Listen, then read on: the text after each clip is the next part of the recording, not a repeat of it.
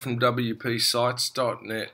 Let's take a look at seven different ways to code a PDF file which is added to a custom field.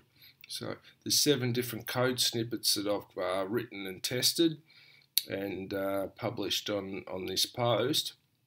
And basically they show you different ways to open the PDF file in the same window. You can open in a new window. Uh, there's different ways to check whether the custom field value field is empty or not. There's different ways to link to the full file URL and, and display that as a link.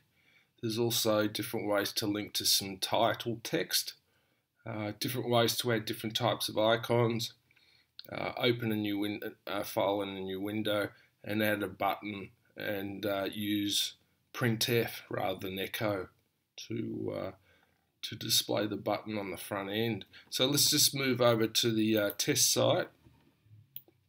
And here you see the seven different code snippets have been added to the functions file. and here's the output on the front end here. So uh, they basically just open a PDF, which I've uploaded to the WordPress media library. And uh, I've grabbed the file, excuse me, URL, and I've added it to the value field in here the name of the custom field is references. So uh, it's as simple as that. Once you've added it there and you've added the code to the functions file, it'll display the uh, the link, and you can hook this in anywhere in your theme. So you can just use any type of Genesis or WordPress hook. In this case, I've used Loop Start for for this example. So these are the different uh, different situations. So they pretty much produce the same result. Um, this one's got linked text. This one uses a dash icon, so if you wanted to, and it opens in a new window as well.